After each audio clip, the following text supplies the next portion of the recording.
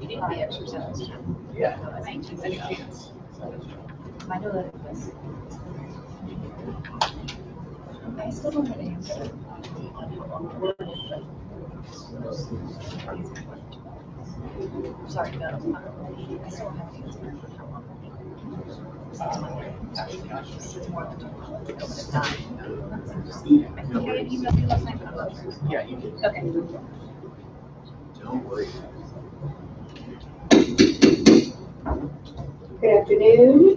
Welcome to the House Committee on Children and Families.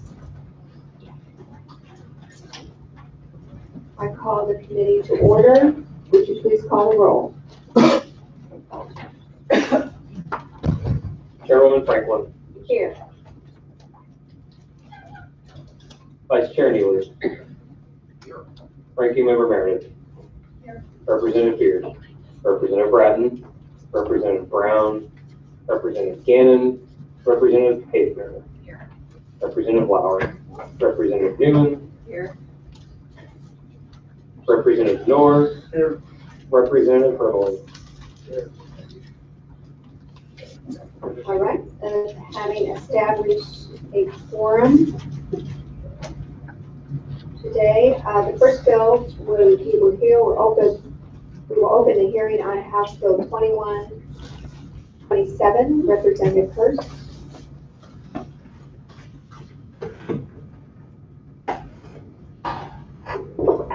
Thank you, Madam Chair, Co-Chair, and members of the committee. I am Tom Hurst, representing the 62nd District, Osage, Maries, Miller, Cole, Gaston, Crawford, and Phelps. Uh, Presenting to you House Bill 2127.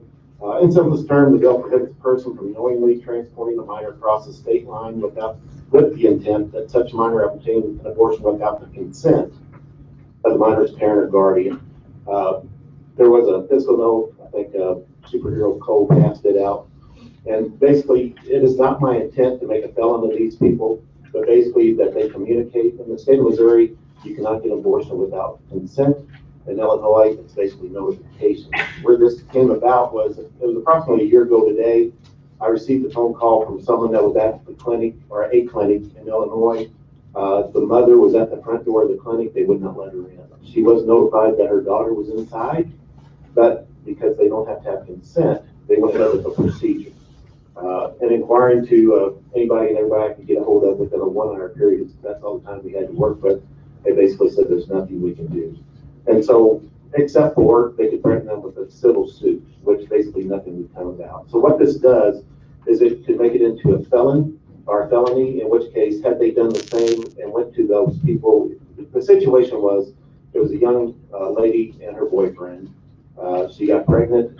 The boyfriend's mother took the child across the state line to Illinois to get the abortion. The mother was notified, uh, but did not give her consent, and because of that, she could not go inside to be with our daughter during the procedure. So it doesn't really change the law, but it basically lets the parent maybe have a say, uh, in some of this. Uh, The gentleman that was with her said that there was thirty-five cars in the parking lot, of the thirty-five, twenty had Missouri plates. And so, uh, the, uh, fiscal note I would hope to be zero because I'm not trying to make, I don't think they're violent offenders, but I think it would open up some communication with the parent if a situation like that arose again to where, uh, and with the fiscal note basically is part of the that had to do with incarcerating somebody if you commit that felony.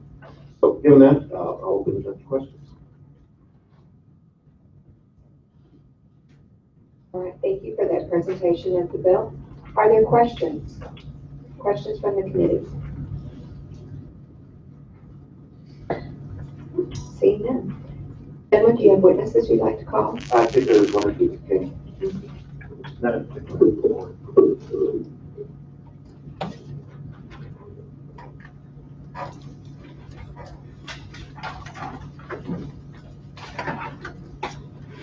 Good afternoon, Madam Chair members of the committee. For the record, Susan Klein, representing Missouri Right to Life.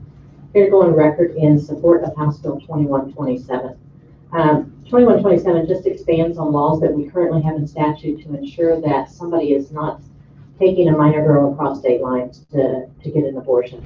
Obviously, this is important whenever you look at uh, the issue that you've also heard on the human trafficking issue.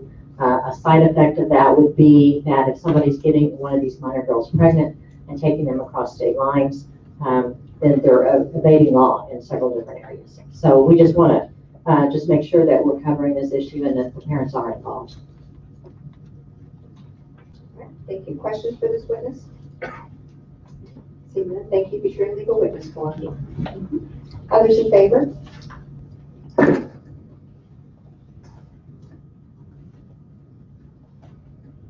Madam Chair, members of the committee, Samuel Lee with Campaign Life Missouri. We want to go on record in uh, support of House Bill 2127. I Want to thank the sponsor for uh, bringing this to the attention of the committee and to the legislature. This problem of uh, adults taking minors out of state for abortions is a long-standing problem. Um, uh, Lawmakers, uh, your predecessors dealt with this back in 2005 in a section 188.250, which would be right before this section. The difference between the current law and this proposal here, one of the differences is that this would uh, deal not just with uh, civil lawsuits, but uh, would, would uh, make it a criminal matter. Uh, The second uh, difference is that the current law deals with aiding or assisting a minor to obtain an abortion. This deals solely with transporting a minor across state lines. That 2005 law was challenged in the courts here in Missouri. Uh, It was uh, narrowed, the construction of that statute was narrowed, but upheld by the Missouri Supreme Court.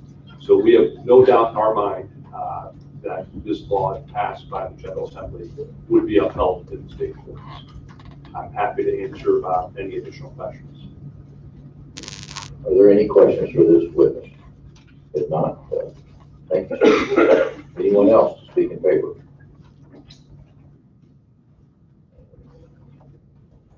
Mr. Chairman, committee, for the record, Messer with Missouri Family Network. I choose to live in the state of Missouri, and when I make that choice, I choose to live under the laws of this state. If I don't agree with those laws, I have the option in this nation and this state to come before you to argue uh, that the laws need to be changed. But if someone else lives in the state of Missouri and they decide to go to another state in order to circumvent the laws of the state of Missouri, they have to agree that they have to face the consequences of that. If they empower another individual and they provide the ability for another individual to circumvent law, then they have to answer for that. But certainly, we need to have some type of penalty when someone would take and materially participate in removing a minor, not just another adult, but a minor from the state of Missouri, take them to another state in order to circumvent the laws of that state. There needs to be remedies, and this bill provides those remedies. Thank you very much. Thank you for your testimony. Any questions for this witness? Thank you. Representative, do you have any other testify favor? Thank you. Anyone to, uh, submit written testimony. thank you, appreciate that. Anyone to testify in opposition? Anyone to testify? Thank you. No problem. Good afternoon, representatives. My name is Allison Dreith. Um, I'm the executive director at NARAL Pro-Choice Missouri. Um, NARAL stands in opposition to House Bill 2127. This bill forces young women to rely on potentially abusive and dysfunctional parents. Family communication is desirable, and most parents know when their daughters undergo an abortion, even when their involvement is not mandated, mandated by law. Unfortunately, not all young women are in situations where they can communicate openly with their parents. Those who avoid parental involvement in the decision to have an abortion often do so out of fear of abuse, pressure to carry the pregnancy to term, threats of being thrown out of the house, or other negative repercussions. This act imposes its restrictions regardless of a family situation that a young woman may face. It makes it riskier for young women to exercise their right to reproductive choice by criminalizing assistance from a trusted relative and friends. The act will force some young women already struggling physically or emotionally with unwanted pregnancies to travel alone. Those young women will be deprived of the benefits of a trusted companionship before and after their medical procedure, isolating them from adults who are best able to help them. It will trap minors in a confusing maze of conflicting state law. A young woman who seeks an abortion in a state other than Missouri will be subject to multiple requirements depending on where she seeks the abortion and whether she travels alone. If she travels with assistance, those who assist her may risk criminal and civil liability under one section of the law unless she complies with the laws of both her home state and the state she chooses to travel to. It fails to recognize the importance of other family members and trusted adults in a young woman's life. Some young women have trusted, have trusted adults in their lives other than their parents, whom they voluntarily consult in their life decisions. This legislation discourages such helpful relationships, forcing young women to choose between foregoing needed assistance from these adults and exposing them to criminal liability. It ignores geographic and economic realities and flaws in the judicial bypass system. Young women decide to obtain an abortion outside of their state of residence for a variety of reasons, including lack of a nearby abortion provider in their home state. Missouri currently only has one. The presence of supportive loved ones in another state, difficulties in securing a judicial bypass, recommendations from trusted relatives or friends, or for financial reasons. This act requires young men, women to grapple with the laws of two states regardless of why they cross a state line to obtain an abortion. Furthermore, the act also violates the Constitution by placing an undue burden on a woman's access to abortion, infringing upon constitutionally protected rights to equal protection and interstate travel, and endangers the health of young women by making it more dangerous for them to engage in constitutionally protected conduct. In each of these ways, this act promotes an anti-choice agenda over a teens' well-being. Thank you. Thank you. Any questions for this witness? Representative Greenwood, proceed. So you are against, uh, we're talking about minors here, right? Yes, You're against, uh, minors, parents or guardians knowing about them having abortions. it's a constitutionally protected right, no matter what the age of a woman or minor is. Do you think a minor knows the dangers that would could be, could become because of a- an abortion? The dangers of having an abortion are less than when I had my appendix out in August. And those risks are told to a minor when she seeks um, abortion care from a provider. I think a parent or guardian should know that a minor, what they're going to be doing, especially on a major medical event, as far as I'm concerned. And it is, it is a life. I'm afraid that you're trying to criminalize another trusted adult, such as a grandmother or an aunt, or someone that these minors can trust in when their mother or father may not be the best person and could lead to dangerous repercussions. I, I just, uh, trying to, uh, look at this in, you know, a way that the main thing we need to be protected is the minor. It may be a constitutional right, we gotta realize that we're talking about minors too. Yeah, you know, that's really my concern. Well, they have rights too.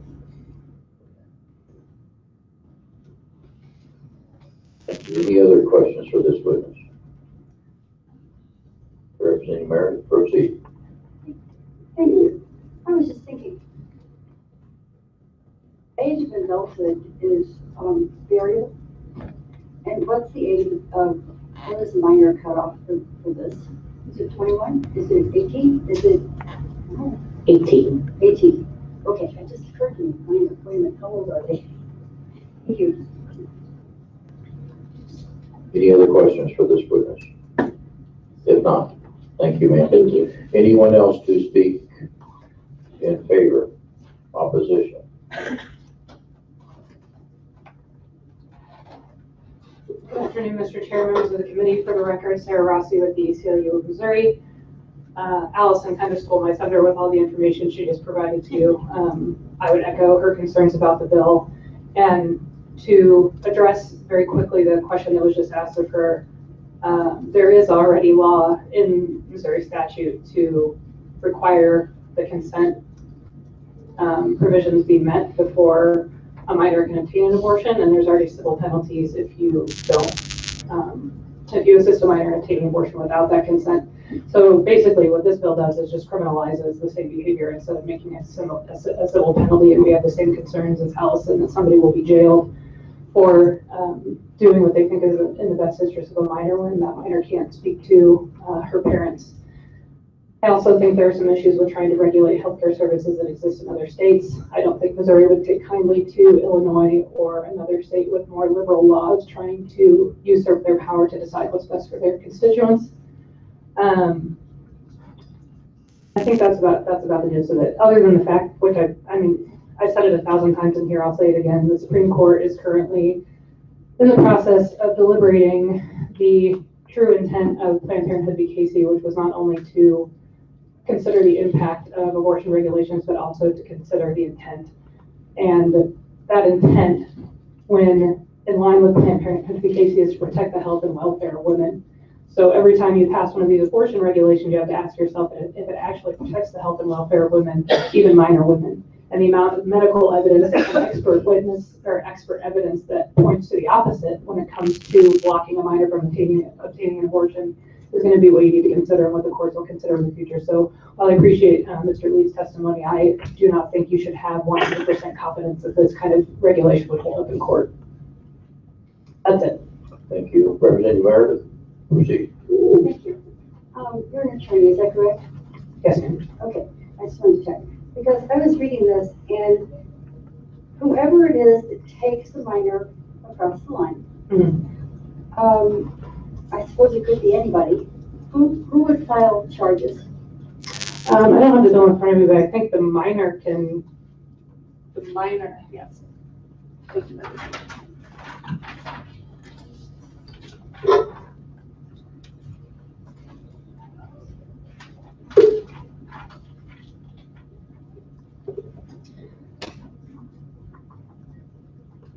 Maybe it could be anybody who knows about it?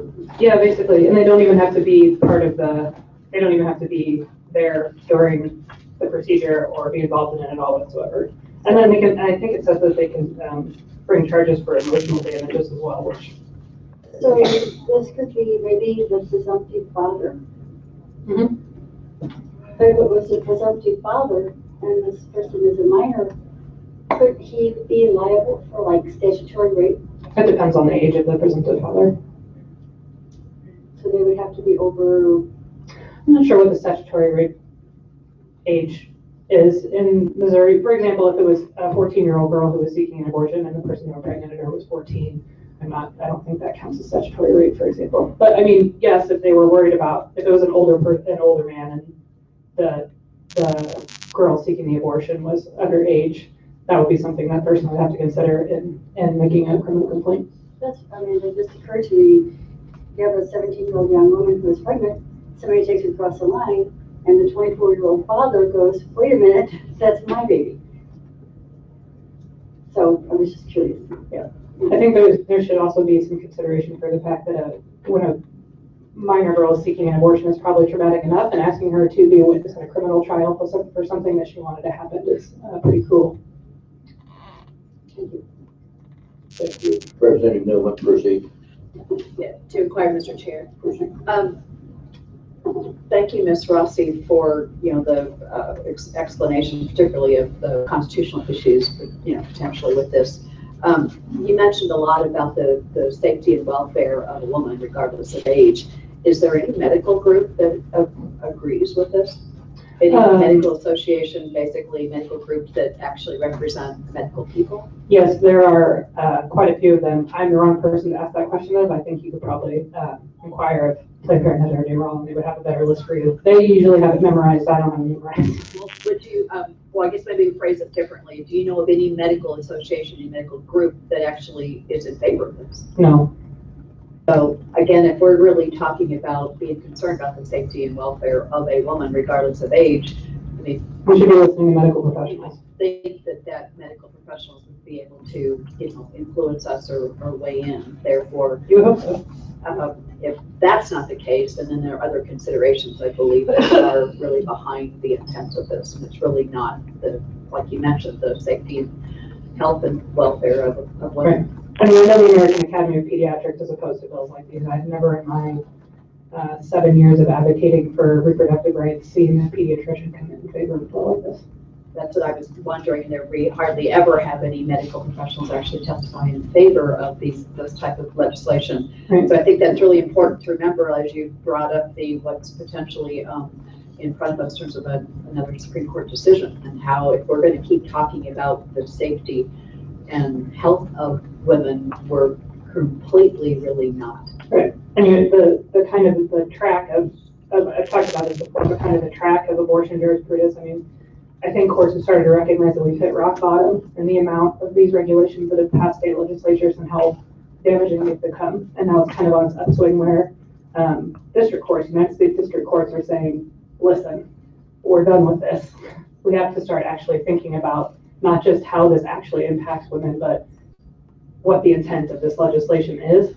And if it's supposed to actually be to help women, then it has to be proven that it helps, helps women. And that's, that's the conversation that's happening right now. There's no proof that bills like this help women at all. Well, and I guess if you look at this in terms of other medical procedures, is there other penalties that we know of in statute that penalizes people for crossing the state line for a medical procedure? I don't think so. So this is just be pointing out this one, if this would become statute. Thank you. Thank you, uh, Representative, Representative Hager, proceed. Um, You know, we keep talking about women's health and women's rights and things, but we're talking about minors here. Mhm. And why do you think that, say in the court of law, there's a differentiation between an adult and a minor? And just any, in general,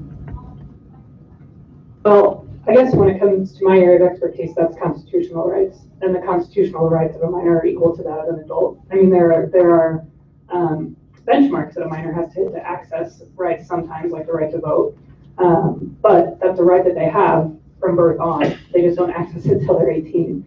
The United States Supreme Court has been very clear that minor girls have the same rights as adult women when it comes to accessing reproductive health care. They've been very clear that carrying a pregnancy to term is a minor's right, and they've been very clear that not carrying a pregnancy to term is a minor's right, just as, as it is for an adult. Um, I think it's important to keep the focus of this bill. We're talking about minors here and Mhm. the, and, and the, and the- the, the justice system in general is very protective of children. mhm. And, um, I don't want to lose sight of the fact that this bill is talking about children, not women in general. And, you know, you brought an interesting scenario to light that if there were a twenty-four-year-old man that impregnated a fourteen-year-old girl, and that father of that child decided to take this child across the state line, I have a real problem with that because it's a child. Mhm. And I don't want to lose sight of the fact that that's what we're focusing on here is children, not the generality of women. Absolutely, Re- Representative, and I actually, I used to work for a domestic and sexual violence organization, so I'm very sensitive to that. I think that the important thing to remember in the context of this, it is about, I understand that protecting minors is very important to you, and I understand it's important to the committee. But I think what we need to remember is that every organization that has expertise in the field of healthcare for minors is opposed to these bills because they find that it actually harms minors more than helps them. So if you're really, if you're really truly interested in keeping minors as safe as possible, experiencing the least amount of physical harm and damage as possible, emotional trauma, mental trauma, then you should vote no on bills like this, because every single medical organization that has any credence in this, in country has said that preventing minors from obtaining abortion services, especially in cases of abuse and rape and incest, is much worse for them um, than forcing them to jump through all these hurdles to be able to access the care they need. So I, I get that you want to protect minors, but this is not protecting minors, it's actually harming them. Well, I think that generality probably doesn't hold true for a lot of minors who seek abortions and, and there's a reason, physiological reasons in brain development and judgment and all that, why we protect children. Thank you. Representative Rowland, proceed. This is my longest round, I think, the record setter. Uh, you, you talk about studies, facts, and stuff that are proving this. Is there any way you can get some of that? Yeah, absolutely, we can, we can send it to you. Because, uh, you know, I, I'd say we could probably get some. I shouldn't, I shouldn't assume, you guys, we can get that, the studies and opposition, et cetera, yep. Because, uh, you know, I, I hear stories of people that are on the psych, psychiatric wards. Of people that have had uh, abortions, more than one, and the emotional trauma that they're going through now, after they've had an abortion, what they deal with. And it, it hasn't been good for them. And it's, it's affected their life, uh, and, and they were, they wish they wouldn't have. So I mean, it's not all good like, you know, so I, I just think we, I kind of like what she was talking about, generalities, you know, this is a good thing, this is a bad thing. But, uh, I, I just, you know, when we look at what life is, these are lives. Talking about, I know that we differ there, Mhm. but, uh, you know, scientific data, to me, it's just common sense, but at the same time, there is emotional trauma, especially when you're talking about minors that have abortions. They can be affected, they may be physically, uh, uh, affected as well, but Mhm. mentally, you got, you, you think about the emotional part of it, there's a- that side as well, but I would like to have some of. Yeah. Thank you. Anyone else to speak in opposition? Anyone to speak?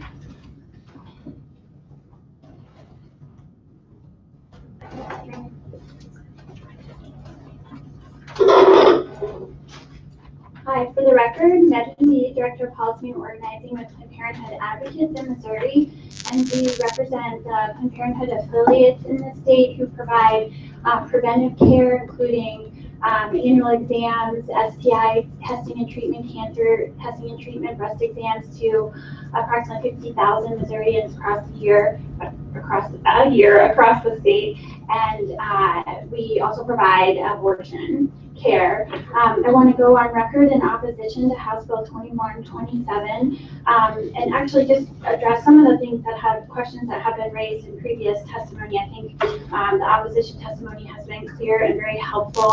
Um, I, have said this before this committee before. I, I, I think what unites us in this room is um, care and compassion for children and families. And I think at the forefront, we all want teens to be healthy and safe.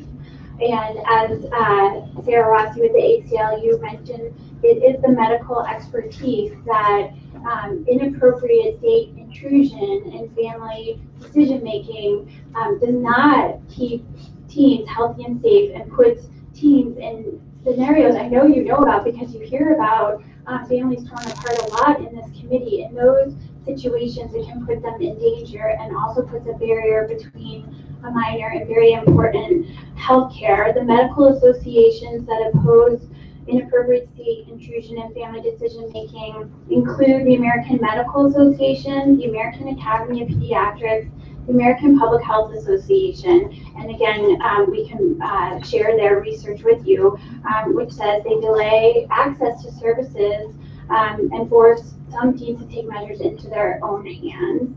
Um, just to reiterate, although I feel you have a, a very um, a good purview about how not all teens come from families where good communication is possible. I think you hear about that all the time in this committee. And this bill actually just gets between minors and the healthcare they need. Um, I think there are alternate, uh, policies that the committee and the state could be focused on. I've mentioned them before. Um, actually comprehensive sex education in schools demonstrates to increase family communication about these sensitive issues. Um, and so, uh, focusing on those policy measures could actually while not intruding on access to healthcare, could promote the health and safety of minors. And then to specifically mention the question about um, abortion is a very, very safe medical procedure. is clearly safer than the alternative of um, childbirth. And when we're talking about minors, that is what we're talking about, that they face the same um, consequence of pregnancy, the same options as a, an adult. You can either terminate a pregnancy, give it, have, go continue the pregnancy, have birth, give it up for adoption, or keep it. So the alternatives are at much higher safety risk for the minor should she decide to make the abortion. And then there have been um, one very notable um, body of research into the emotional impact of abortion. It was actually a commission formed under President Reagan, headed up by Surgeon General C. Everett Koop, that was specifically charged with documenting all of the medical research related to emotional harm um, uh, and abortion. That committee found no credible evidence that there was documented um, uh, condition or high risk associated with abortion related to emotional um, trauma that is very, very well documented. There's actually quite a bit of litigation and um, public relations around the fact that the Reagan administration didn't want the research from this committee that found that there was no evidence released to the public and ultimately it had to be released. So that has been very, very well documented. And um, for your request to Sarah Rossi, we, we can follow up with the data on that. So uh, in closing, I just want to reiterate our, our opposition and, and plead with the committee to focus on other policy solutions um, that will help keep teens healthy and safe. Thank you. Representative Newman, To inquire, Mr. Chair. proceed, please. Um, Good afternoon. Me. Uh, I want to ask you the same question because since you're maybe coming more from, from the healthcare um, side of this, is there any other medical procedures that have a similar um, restrictions on taking a minor across the state line for a medical procedure that would require some of the same things? There are none that I'm aware of, and I'm glad you brought that up, the notion of singling out access to reproductive health care. I, I I meant to start by saying, I, I, I hear the concern about abortion coming from some members of this committee, and I I understand that we, um, disagree fundamentally on whether a woman should have this decision at any age, that that's not what this bill is doing. This bill is singling out abortion and minors for a major escalation in state law, criminalizing, as uh, Allison said, a grandmother, an aunt, a trusted adult who's trying to help a minor who's facing potential harm um, due to her pregnancy.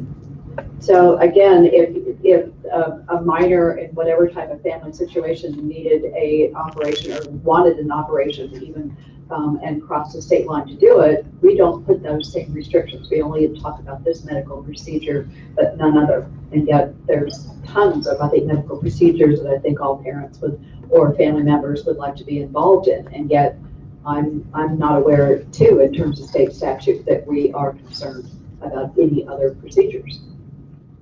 Correct, I think that the mandate is, uh, reg- reg- regulated, regulated to this uh, procedure of reproductive health care. And then this goes the next step in terms of actually criminalizing anyone who would be assisting for whatever reason. Correct. Thank you. Thank you. Do you, uh, know the cost of an abortion? And how's that paid for? Is that generally a cash or is it, uh, done through insurance?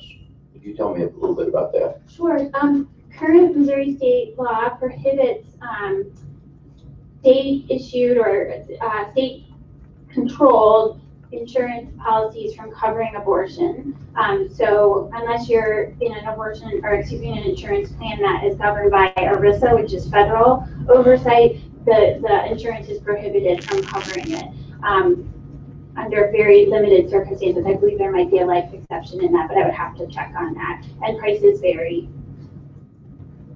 So it's, it may be pretty much a cash operation. Is that correct? On, uh, getting an abortion? Uh, the method of payment could vary also. All right, thank But, you. but you're correct, the insurance doesn't cover it because you passed a law to prohibit that. Representative. Anyone else just have any questions for this witness? Representative Gannon? You said, uh, to inquire. You said, uh, price varies. Can you give us a ballpark figure? I'd have to get back to you on that, I don't want to get it wrong. Okay. Thank you. Representative Haber?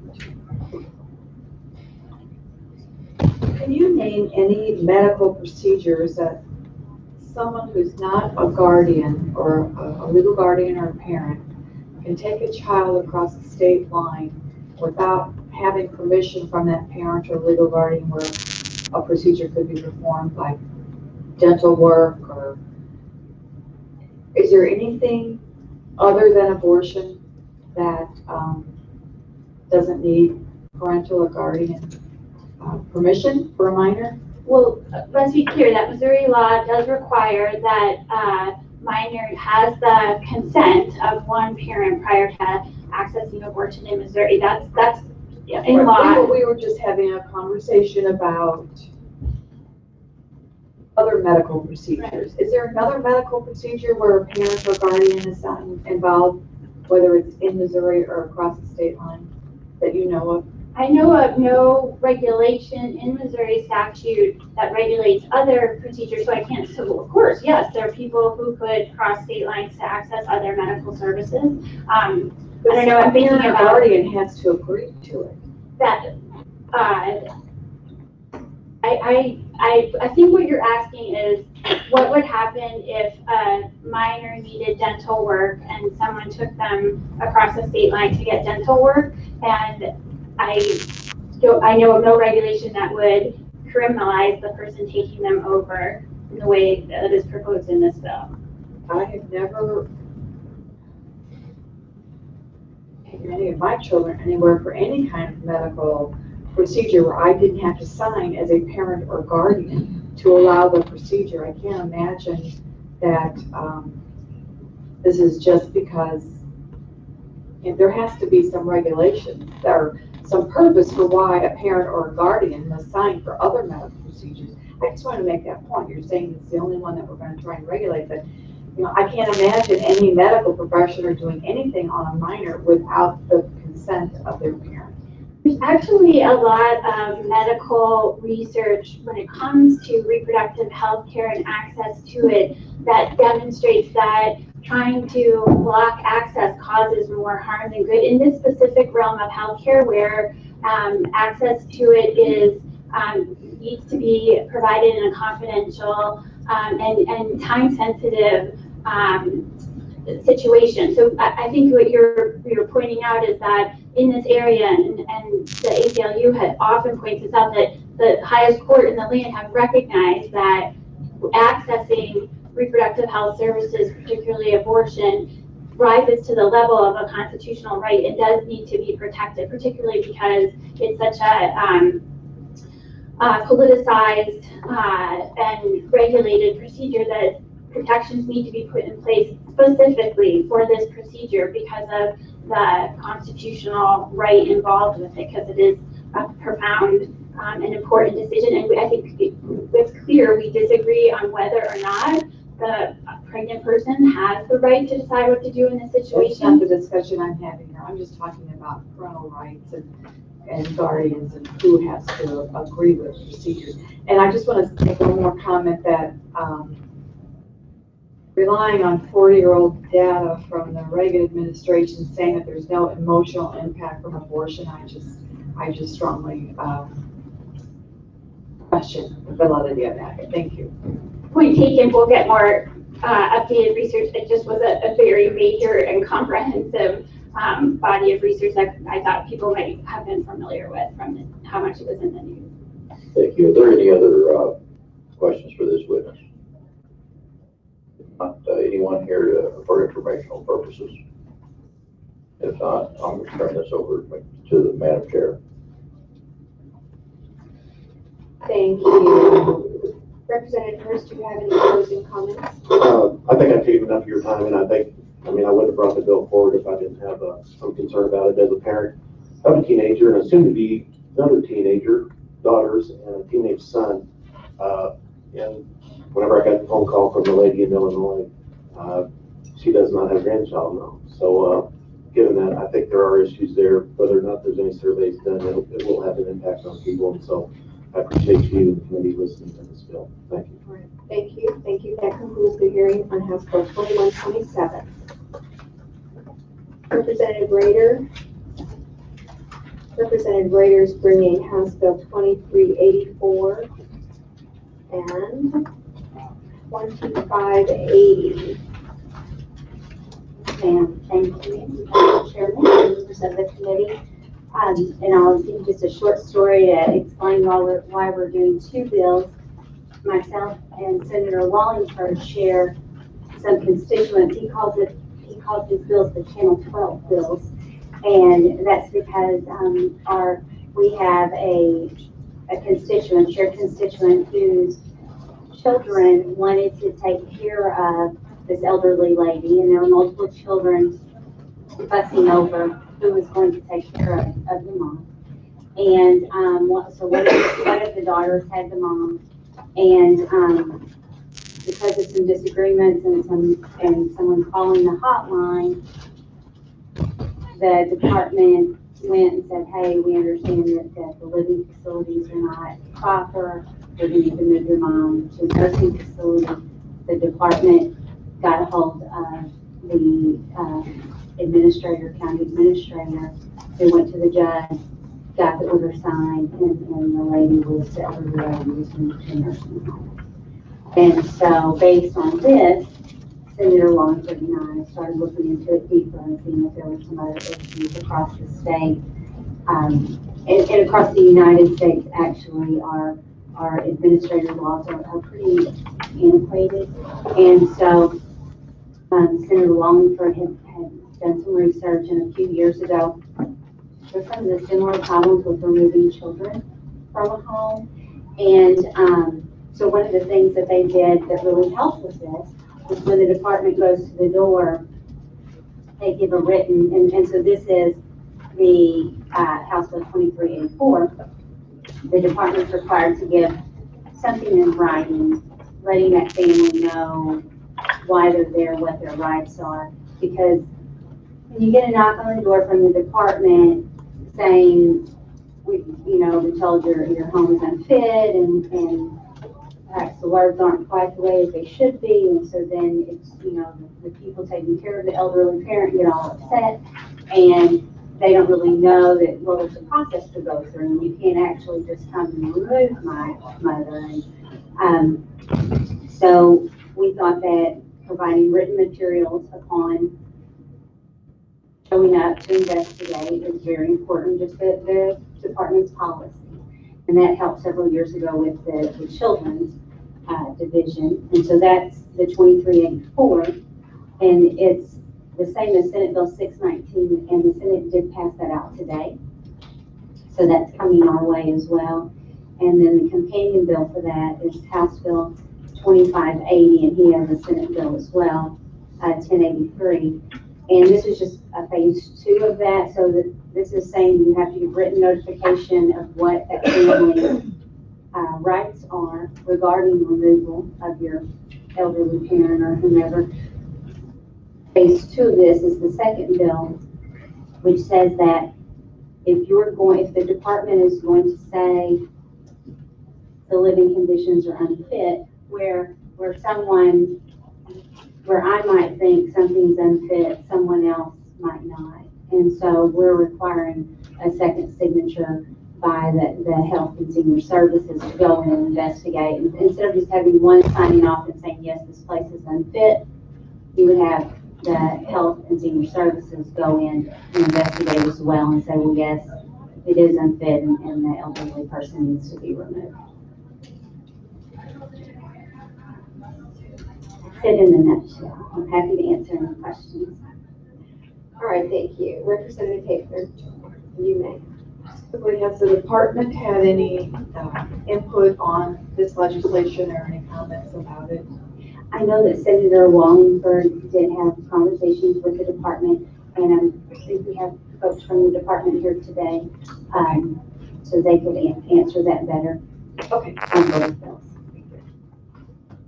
On both bills. Other questions from the committee? Seeing none, do you have witnesses that you want to speak? No.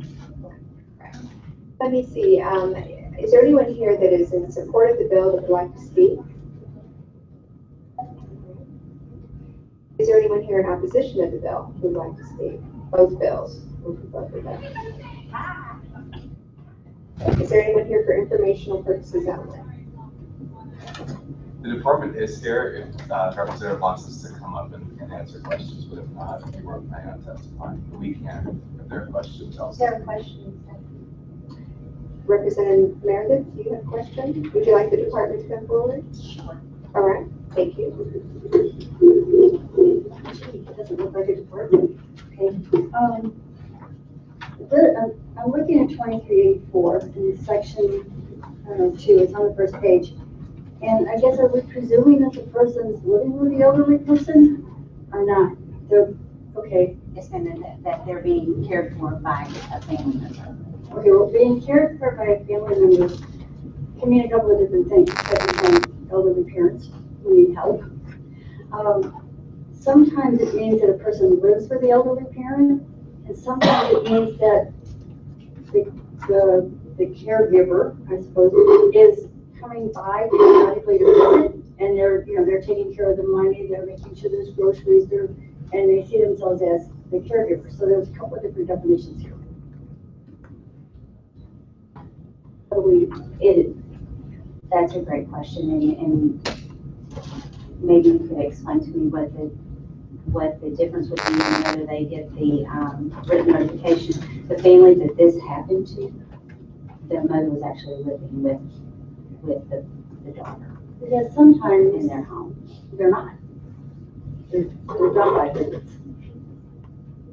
You look like you know what I'm talking about. Hmm, I have another thought. I don't know if I have a response directly to, to what you're suggesting. Uh, Stephen Allen Ramsey, Department of Health and Senior Services Liaison. Um, a a few points that may be of, of use to the committee is that one, uh, and I have Celeste Hargraves here, so if I mess up, she'll come up and correct me. She's the director of our senior disability services. Uh, but the department currently does not have the ability or the authority to um, unilaterally, unilaterally take anyone out of their home. Um, we normally go out and then we uh, conduct our investigations, but if we see, uh, you know, some very bad things, we have to call law enforcement and have them come and do that, that removal process. So we actually are not a custodial department in that regard. Um, that's not responsive to your particular question. You're, let me just make sure I am being responsive in terms of who the target audience is here. Is that what your essential question Well, if, if they, if, say the department here is the person, um, who's not getting the care that they need. And they go to visit this person, and this person is living alone. And the person who is the caregiver, the person who brings food, the person who brings whatever, doesn't happen to be there at the time, and they're the person who is supposedly responsible. Yeah, so I, I think maybe what, how I would be responsive there is that hotlines, like the entire investigate, investigatory process is much broader than that. Like we investigate folks who are living by themselves, we investigate people who are living, um, you know, potentially with, uh, their, their children and nursing homes, et cetera. So whenever a hotline occurs, we go out and investigate that process. How do you find this person who's?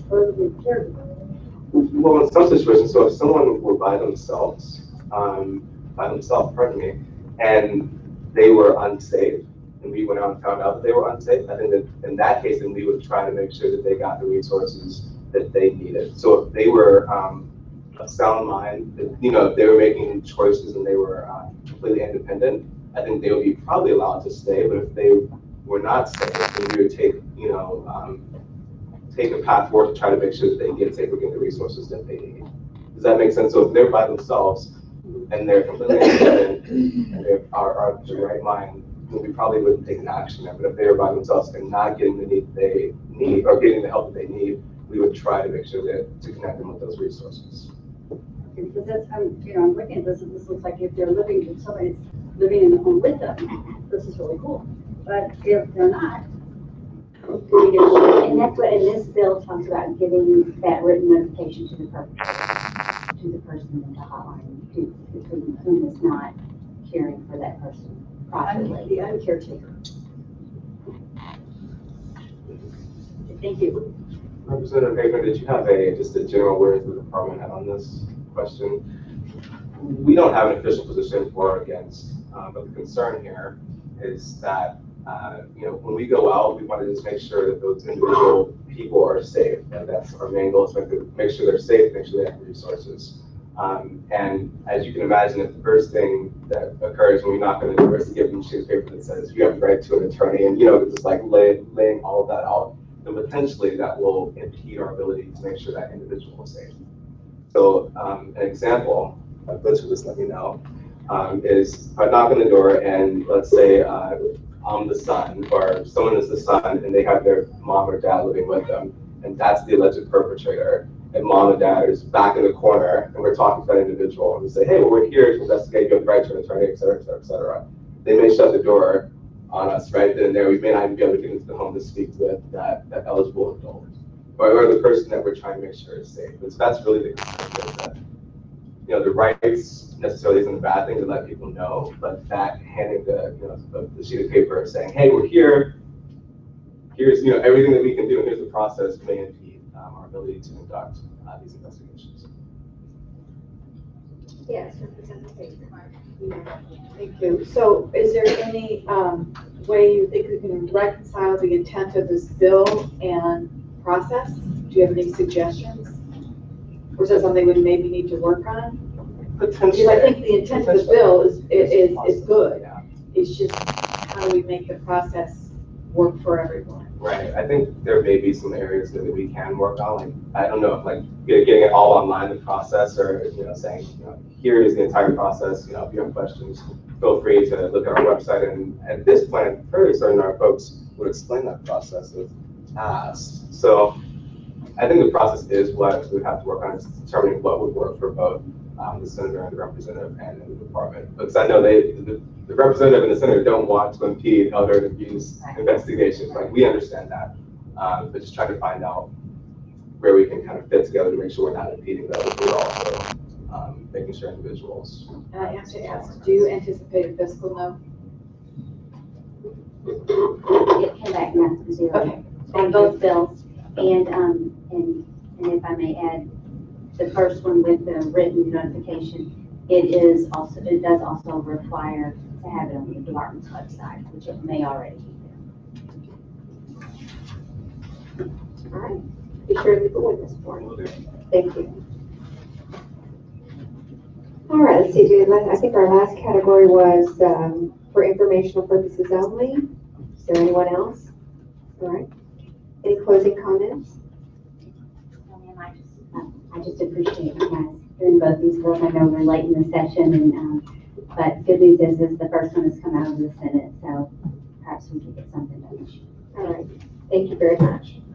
So that closes the hearing on House Bill twenty-five eighty and twenty-three eighty-four. All right, now we need to do executive session. We'll go ahead and, um, take up to exec. Um, twenty-five fifty-eight. You want to recap that for us, Representative, and talk about the amendment? Sure, thank you, All Madam right, Chair. wait, before you I gotta do this. I move that House Bill twenty-five fifty-eight be do passed. All right. Thank you, Madam Chairman, members of the committee. Uh, For the record, John McCaherty, uh, representing Jefferson and St. Louis counties. 2558 is a bill you heard uh, a couple of weeks ago that dealt with uh, pros and cons and Rios uh, and their disposition at time of divorce or separation or death. Um, Many times these uh, cases have agreements, uh, well, in all cases, they have agreements uh, when they go into this uh, arrangement uh, that they sign. And then when something happens and they actually go through a divorce, uh, the court is left with a problem. Because if the, if the parties agree to remain in the agreement that they have, then that's fine. If they disagree, then the court has really no direction as to what they are to do because they, uh, law says that uh, the best interest of uh, a child is uh, joint custody. And you cannot uh, force someone to be a parent, which we heard in a committee meeting. And so the bill actually just allows them to have some discretion and some direction in that. So if there's a, if there's a disagreement, and one of the parents wants to keep the embryos, it gives the courts the opportunity to grant the custody of those embryos to that person, uh, be it the husband or the wife. And um, it also allows the other party to be free from any responsibility or obligation. Uh, You do have an amendment in, in front of you that has been previously distributed to O3H. And uh, that, that amendment takes out some of the controversial language uh, that we had uh, uh, during the committee. Uh, Takes out um, anything to do with the DNA donors, it takes out anything to do with personhood, it takes out all that kind of stuff. It strictly deals with the issue. We really didn't want to get the issue bogged down in all the other things that are really covered under statute already at this point, uh, and really just wanted to focus on that issue. And so the, the amendment matches the Senate bill uh, that Senator Riddle is handling. And uh, with that, Madam, Madam Chair, I'm happy to answer any questions. Are there any questions from the committee? All right, seeing none. I have an amendment, it has been distributed, and I move for its adoption. Are there, is there any discussion? All right, seeing none. All those in favor of adopting House Committee Amendment Number One signify by saying aye. Aye. All those opposed signify by saying no. The ayes have it, you have adopted the amendment. So I move that House Bill 2558 be voted do pass with House Committee Amendment Number One. Is there any discussion? Seeing none. All right, please call the roll. Chairwoman Franklin. Aye. Vice Chair Neely. Aye. Ranking Member Meredith. Aye. Aye. Representative Meredith. Aye. Representative Beard. Representative Bratton. Representative Brown. Representative Gannon. Aye. Representative Haefner. Aye. Representative Lauer. Representative Newman. No. Representative Norr. No. Representative Brimley. Yes.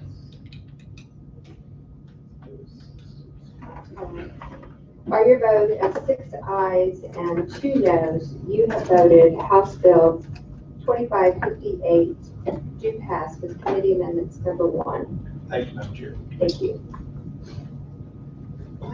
Right, Representative Lant, uh, I move that House Bill 2624 be voted do pass.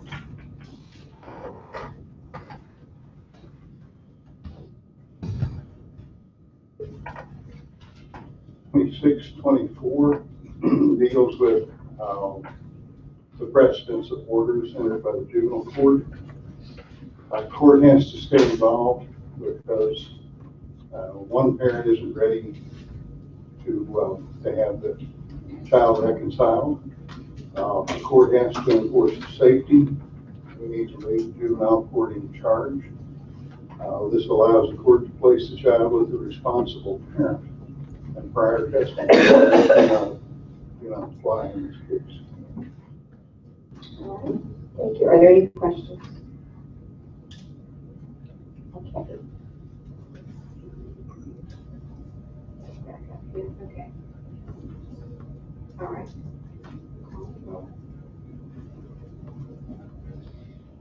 Chairwoman Franklin. Aye. Vice Chair Neely. Aye. Ranking Member Meredith. Aye. Representative Beard. Representative Bratton. Representative Brown. Representative Gannon. Aye. Representative Haefner. Representative Lauer. Representative Newman. Aye. Representative Norr. Aye. Representative Brimley.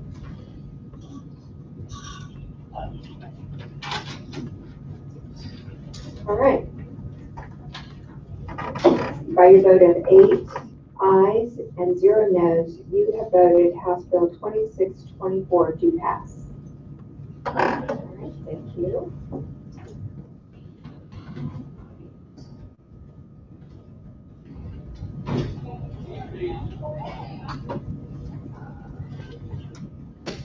I move that Senate Committee substitute for Senate Bill 688 and 854 be due pass.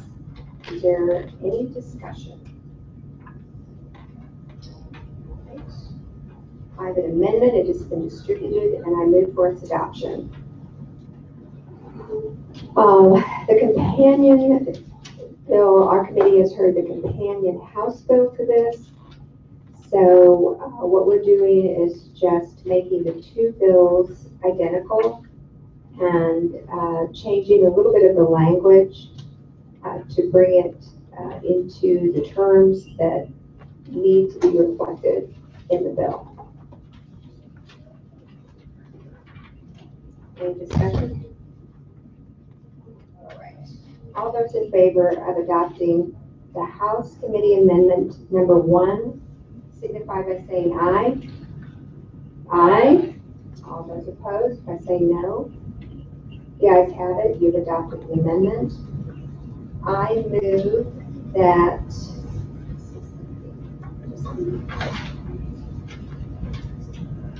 Okay, yeah. All right, I move that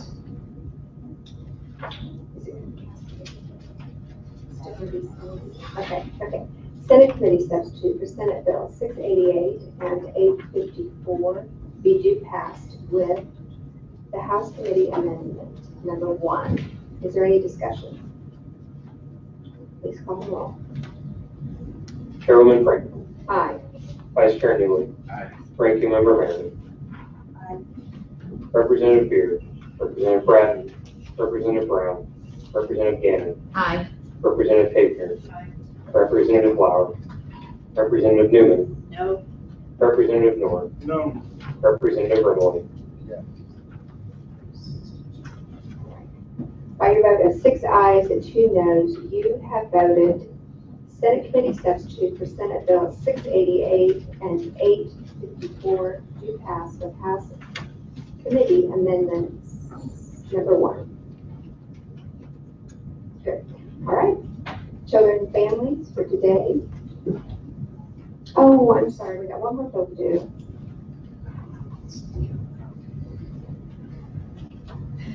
You were ready to go. Uh, okay, here we go. I move that House Bill twenty-four ninety-two be voted to pass. Is there any discussion? This is on the uh, kinship relationship in foster care.